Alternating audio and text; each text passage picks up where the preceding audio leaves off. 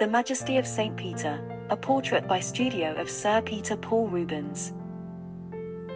Studio of Sir Peter Paul Rubens, a group of artists who worked under the guidance and influence of the famous Flemish painter, created this magnificent portrait of St. Peter around 1614. St. Peter was one of the twelve apostles of Jesus Christ, and the first leader of the Christian Church. He is also known as the Prince of the Apostles and the Rock of the Church. He holds the keys of heaven in his right hand, symbolizing his authority and responsibility as the keeper of the gates of paradise.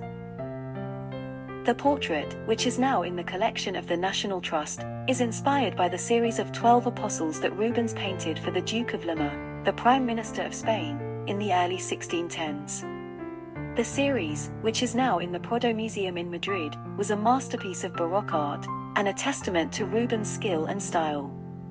Rubens used the ancient sculpture of Greece and Rome as his source of inspiration, and gave his figures a realistic and expressive appearance.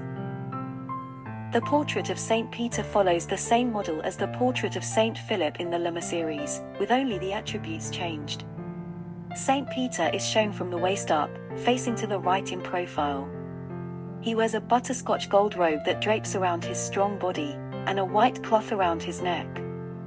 His hair and beard are silvery grey, and his face is pale and wrinkled. His eyes are hazel, and they look upward to the heavenly realm. He has a long nose, a pale pink mouth, and hollows under his high cheekbones.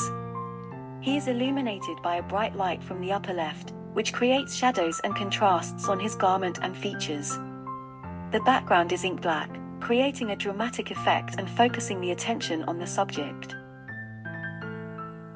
The portrait of St. Peter is not only a remarkable work of art, but also a historical document that reveals the culture and society of the Catholic Counter-Reformation, a period of religious revival and reform in the 16th and 17th centuries. The Council of Trent, which was held between 1545 and 1563, reaffirmed the importance of saints as intercessors and models for the faithful. Images of the twelve apostles, who were the closest followers and witnesses of Jesus, were especially popular and widespread.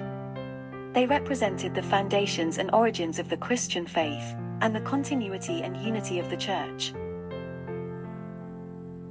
Studio of Sir Peter Paul Rubens, who followed the example and instruction of their master, captured the majesty and dignity of Saint Peter, the first and foremost of the apostles.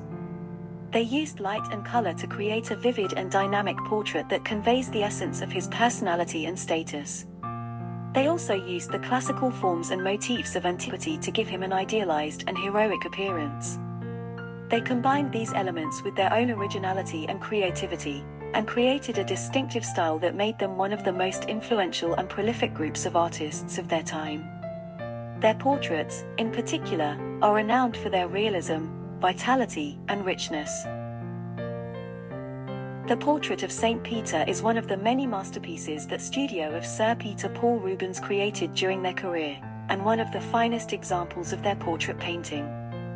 It is a testament to their artistic skill, and to the majesty of St. Peter and his era.